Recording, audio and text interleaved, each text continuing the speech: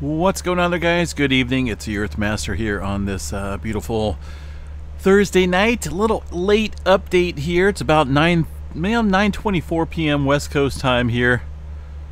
Thursday night, uh, latest earthquake shows a 1.9 earthquake on the big island of Hawaii.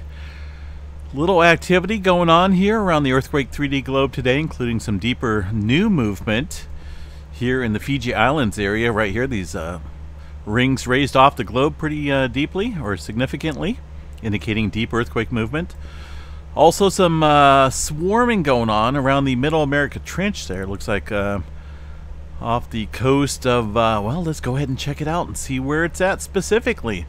Looking at the latest USGS map here, showing some activity down here. A little cluster of earthquakes, uh, also off the coast of Costa Rica uh, Nicaragua and also the uh, El Salvador area seen a, a, pretty good handful of earthquakes. Now this is just a 4.0 and above. There is some threes kicking up here in a swarm type fashion. Uh, all this activity occurring following uh, yesterday's double six pointers there in the South America region. As far as activity ramping up down there, there's only been a handful of earthquakes today in the South America area uh, from a 4.3 to 4.6 up and down the Peru-Chile Trench. Most of it uh, at moderate depths there for the earthquakes, but uh, definitely got to watch this area up north here. We, we tend to sometimes see a northward fashion of earthquake movement uh, following deep earthquakes, so I'll watch that pretty closely. Uh, movement kicking up here into the Texas area. Earthquake country out there in western Texas around Pecos, Texas. Who would have thought? Well, a lot of earthquakes go on out there in the uh, gas and uh, oil rigs and whatnot. Uh, latest earthquake shows a 3.1 earlier today. Uh, earlier, yeah, just a little short time ago. Uh, latest quake there. As far as anything in Oklahoma goes, we're looking at uh, some scattered earthquake activity throughout the wells there. Nothing going on throughout the eastern portion of the country. Intermountain West regions and Nevada all showing uh, just a few microquakes out there. This is not a whole lot of activity throughout the western coast right now. Things kind of uh, tapered off a little bit uh, following all that, uh, uh, well, that uh, seven-pointer that struck a couple days ago in the Philippines there. So we haven't really seen a whole lot of uptick in earthquake movement since then along the west coast. One earthquake down here along the San Jacinto Fault Zone, the Anza section, the Clark Fault. But overall, just a typical day of plate tectonics there in California. Up in the northern part of the Pacific Plate, the North American plate boundary here, some activity throughout Alaska. And then again, that's very typical. Not a whole lot of swarming going on, just some uh, very typical movement in Alaska.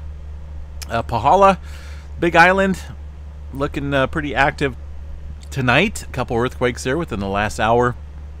And uh, one earthquake out here around the Loihi Seamount earlier uh, during the day today.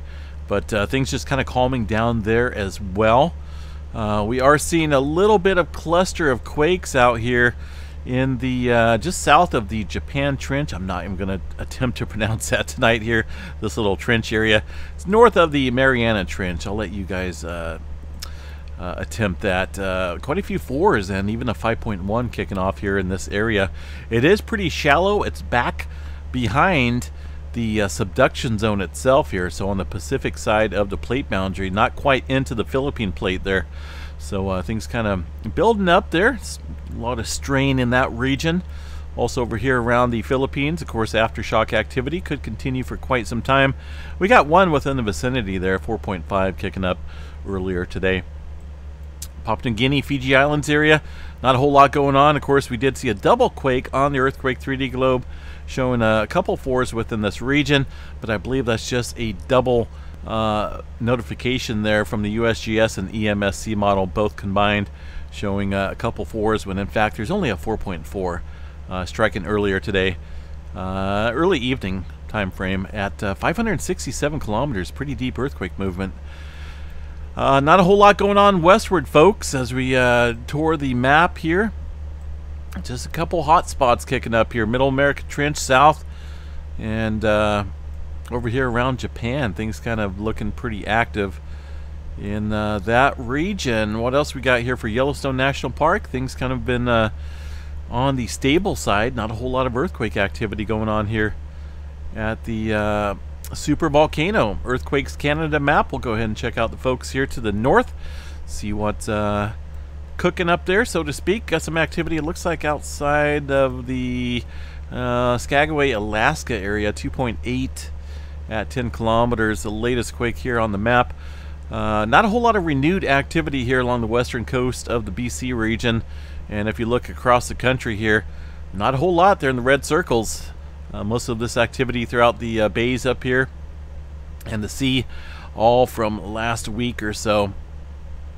Tremor map tonight along the Cascadia subduction zone shows only 27 epicenters here within the uh, southern end of the Cascadia. Not that big of a deal, folks. Just a little tremor ongoing there.